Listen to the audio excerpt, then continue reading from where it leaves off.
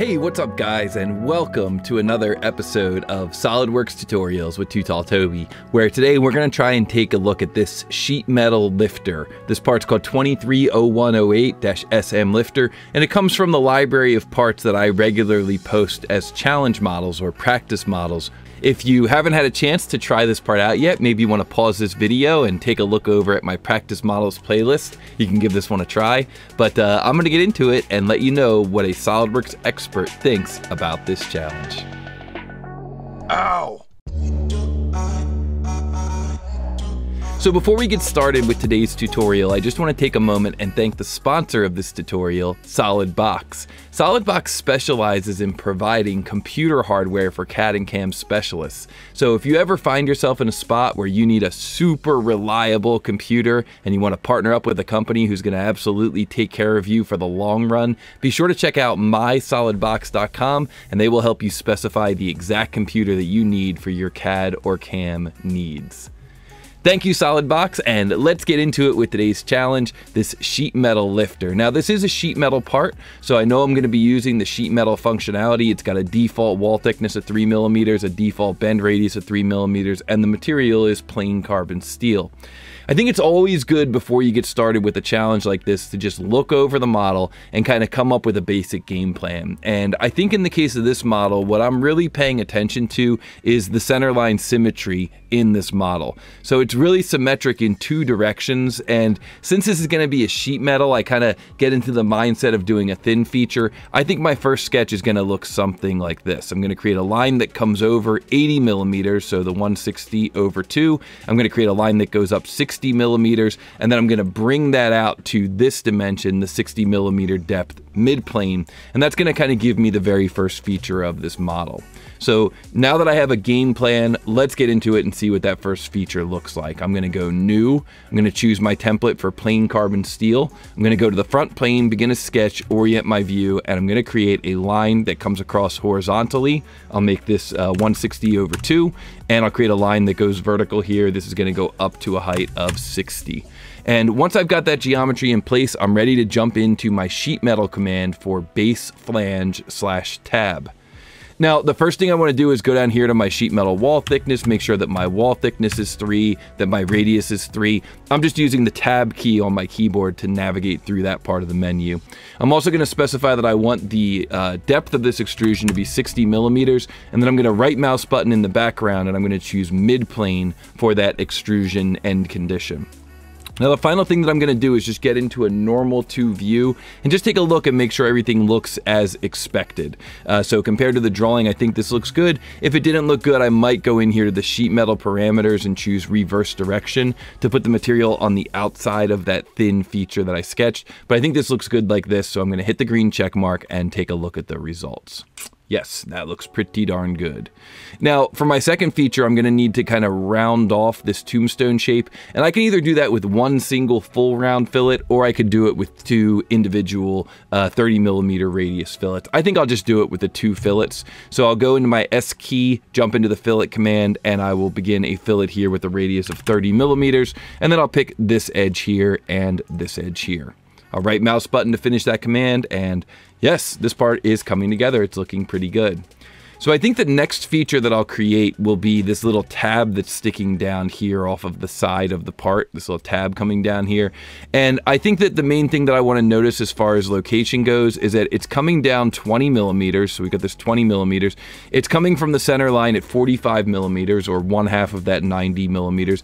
And it looks like it's starting right where this fillet radius here kind of ends. So it's starting, I guess you could say six millimeters off from this edge of the model, three millimeters wall thickness and 3 millimeters worth of inside bend radius.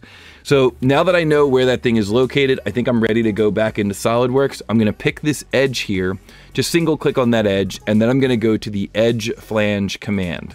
And once I go into the edge flange command, I'm going to be looking for things like where is the flange being created? Is it sticking all the way out of the part here, like kind of popping out of the side of the part, or is it flush with the existing material in the part? These are things that you can control here in the flange property manager. In this case, I'm down in what's called flange position. So is it uh, material kind of inside of the material flush to the outside? Is it outside of the material flush to the outside, or does the bend begin at the outside of the existing material? Well, if I look at this part in the drawing here from the side view, I can see that it should be that last option. The bend should begin right outside of the existing material. So I'm going to use that option, but that's very important when you're working in sheet metal to get used to the examination of that flange position functionality. So the bend is going to the outside, and then we get into this option here, this flange length, and I'm going to make that 20. So, you know, the, the dimension on the print was 20. I'll make that 20 there. But it's always good when you're working with edge flanges and when you're working with dimensions from your drawing to get in here and look at the actual edit flange profile functionality. This is going to let you edit that sketch and take a look at what that dimension actually is. And so in this case, we can see that the 20 dimension is coming from the bottom of the material and then going down to the bottom of the part. So let's see what that dimension is in our actual sketch here. So I'm going to go smart dimension from here down to here and look, oh, it's only 7 17. It's not 20, which it's supposed to be. And that's because, you know, that dimension that was in the property manager is actually coming from the top of the material. So that could have been a costly mistake if I wouldn't have caught that. So always good to go into that edit flange profile and just double check to make sure that, you know, the dimension you're getting from the print is being aligned the same way as the dimension you've got in your model. Now we've got our 20 nice and lined up, where before our 20 was coming from up here, so our parts would have been three millimeters short. No good. The other thing that we want to do when we go into that edit sketch mode is we want to change the location of this vertical edge here. So I'm just going to right mouse button choose select and then I'll grab that edge and drag it over.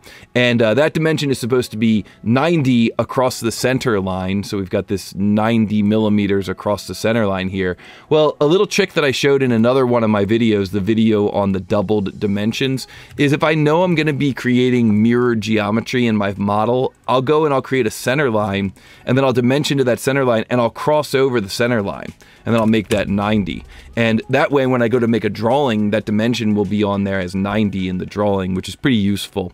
Also, just kind of a good quick way to check your design intent when we're looking at this final model. We're not going to see a 45 there. You know, if we double click on this feature, we look at it from the front, we're going to see a 90 going over to the mirrored flange. Very, very useful. It looks like there's a couple of 9 millimeter radius on this flange here, so I'll create a radius here and a radius here. And that radius value is going to be 9, enter, enter to finish that command. Good shortcuts to remember. Covered these in some of my uh, end condition and uh, right mouse button shortcut videos. And we're going to take that flange and we're going to mirror it. So a lot of times I will pre-select the flange and the fillet feature, and then I'll go up here to the plane that I want to mirror about as well, and I'll hold control. So I pick all three of those by holding control. And that way, as soon as I jump into the mirror command, it's almost like SolidWorks just knows everything that I want to do, and I'll just right mouse button and choose OK. Cool, this is looking pretty good. So the final feature that we need to create, probably the most tricky feature on the model, is going to be this region here. And I think that it's fair to say that this region is going to begin with a cut extrude. So that's probably a, a, good way to start when you've got a, a weird set of geometry that's kind of down in a pocket. It depends on how it's defined, but I think a lot of times it's good just to start with a cut extrude just to kind of clear out that region. So we've got some dimensions here, 30 millimeters. We've got a dimension here, 20 millimeters from the end. So pretty much just a rectangle that's centered on the origin. We'll get in here, we'll create a rectangle like so. We'll say that it's going to be 30. We don't really know what that dimension is going to be, so I'll just make it 60, and then I'll hit escape. I'll click on that dimension. I'll grab the dimension grip handle, drag it over to this end of the part. Oh, nice. I guessed correctly. It is 60, so that gives us 20 there. Perfect. Uh, so, and then I'll center this rectangle on the origin, and there we go. Now I'm ready to go into a cut extrude command, and whenever you're working in sheet metal, it's usually a good idea to use this option here for link to thickness. You can link the cut extrude to have the same uh, depth value as the wall thickness of the sheet metal. That way, if the, the sheet metal ever gets thicker, the uh, cut extrude will always be going through that wall. So I think that's a pretty good start for our geometry here. That gave us the creation of this kind of pocket shape. Now, for this next feature, we could do it in a couple of ways. We could do it with a series of edge flanges, or we could do it with what's called a jog. And the jog command in SolidWorks is very useful to create this shape here that kind of comes down at an angle and then goes flat again. So that's the feature that I'm going to use. I think that feature will work out great. But there are a few different ways to skin the cat in this case. Uh, there's a few different ways to create this feature. And so, you know, I'll leave it up to you which one you want to use. But I think using jog is a, a perfect way to do this, and it's a great opportunity to use that command. So let's get in here, let's create this geometry, and, and I'm just gonna start out by creating the geometry here looking exactly the way it looks when we're looking straight down on the top. And when we get into the jog command, you'll see why I'm able to get away get away with that. And so we're going to create these two holes here, these two tombstones that are 50 millimeters apart across the center line. We're going to create these so that they have a two millimeter gap on each side. So a two millimeter gap, a two millimeter gap on each side. So we'll go here to this face, begin a sketch, orient our view, S key line, create a line that comes over like so, come back and hold our mouse over that endpoint, switch into the line arc line shortcut, another good video in our power move series. We'll close that thing off like so, we'll S key and jump into the smart dimension command, we'll make that two millimeters, we'll make this one here two millimeters, and we'll finish off here by doing what we did a few moments ago, creating a vertical center line and then creating a dimension that goes from this arc to the vertical center line and then crossing over with a value of 50 millimeters. Now, at this point, we're going to take advantage of the very first command that we used in this in this uh, feature process, in the sheet metal process, the sheet metal command for base flange slash tab. Now, instead of creating a base flange, this command is going to create a tab, which is just taking that uh, sketch that we created and extruding it to the same depth as the existing sheet metal and merging it to the existing sheet metal. That's how tab works when you're working with sheet metal designs. So this is awesome. So far, so good. Now we need to de determine what the location is of the beginning of this jog. And it looks like that location is called out here in this detail view. 30 millimeters from the edge of the part over to the beginning of the bend. And then after that, it begins to bend down. So 30 millimeters to that location. So I'm going to select this face here, begin a sketch, orient my view, and I'm going to create a line that goes from here to here. Whoops, I almost got the midpoint. Glad that I didn't. We want that line to be able to move because we're going to put a dimension on that line that goes from the end of the part to this line with a distance of 30. That is going to become the bend location for our jog. So now we're going to use a very cool command that exists in SolidWorks. The command is known as jog. We go here to sheet metal. It's right here on the sheet metal toolbar, jog. We click the jog command and we pick this face here as our fixed face. Now, it does matter which side of the line you choose. You notice if I if I click again to unselect and then click over here, I get a different result. So make sure you pick on the correct side of the line. That's going to be the side of the line that has the material that you want to retain its current position. So I click here on this side of the line, that initiates the jog command.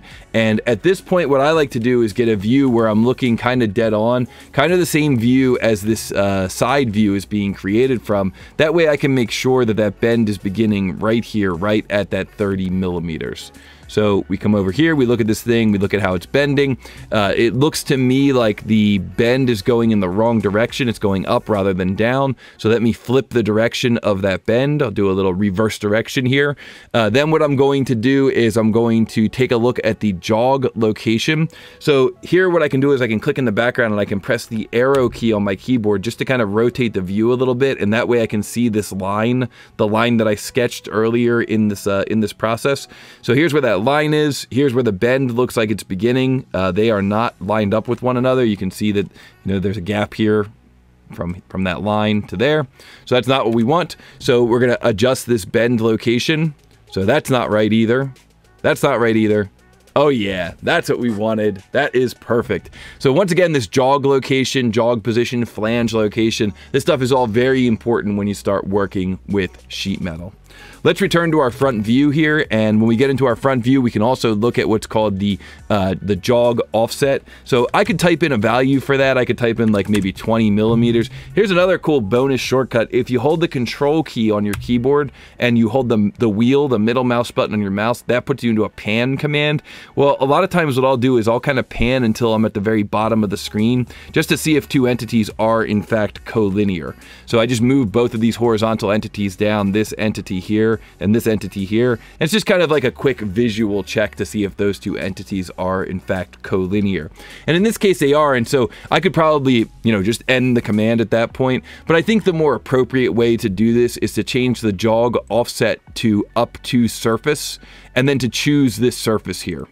And that way, I'm confident that if the length of these little tabs here changes, the length of the jog is going to change as well, or the location of the jog is going to change as well.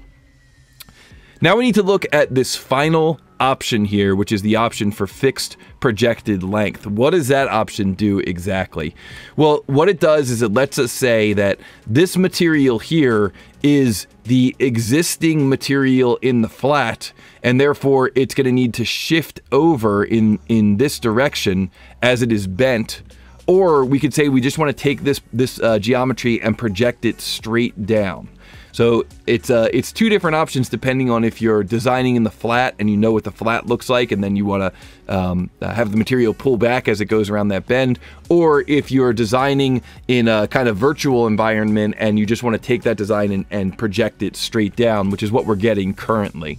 If I use the other option, you can see that the preview updates and that that flange length gets a little bit shorter, and the reason for that is because it's it's running down that ramp and then coming over. It's running down that, that angled ramp for the jog and then it's coming over. And so if I was to change the angle of that jog, you can see that the, the location down here at the, the bottom of the screen, this location down here, you know, it changes uh, as I adjust that angle, it's changing because it needs to cover more distance or it needs to cover less distance before it gets down to that, that final bend region. We're just taking this existing geometry as though it's a flat and then we're bending it twice. Well, if we use this option here, fixed projected length, then the center of that circle always remains 25 millimeters from the center of the part, regardless of what the angle is, or regardless of what the length of the flange is, because it's just taking that geometry as I sketched it and projecting it straight down. So pretty cool little uh, uh, adjustment that you can make there in the uh, projected length. We're going to set our angle here to 60 degrees because that's what the print has, 60 degrees.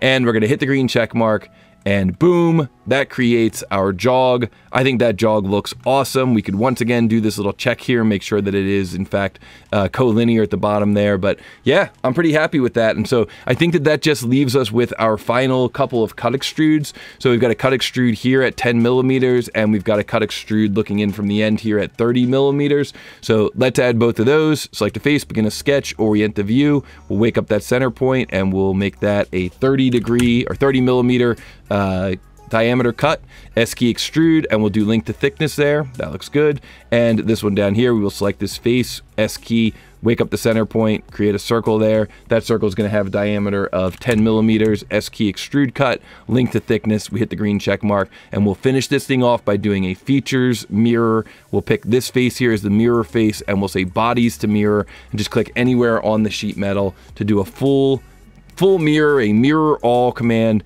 and that gives us our sheet metal part. I think that looks pretty good compared to the drawing. Looks like the correct answer here is 370 grams plus or minus 2 grams. Let's go into evaluate, let's go into mass properties and Boom, 370.16. So we are well within tolerance. We did it correctly. And uh, that is how I would approach that model. Of course, there are a couple of other ways you could approach this model, particularly in this region here. We could do this with an edge flange at 60 degrees and then another edge flange at 60 degrees. We could even do it with a miter flange. We could sweep a miter flange along this edge. So there's a couple of other ways that you could do that. I'll let you guys experiment with those other ways, but let me know down in the comments comments below what you thought about this solution. And of course, if you enjoyed this video, be sure to like, be sure to subscribe, be sure to share this video with some other users out there who are trying to learn SolidWorks. The goal of this entire channel is to help people learn SolidWorks and to help you save time by learning some cool time-saving tips and tricks. So I hope you learned some during this video. Let me know if you did, and I will see everyone in the next one.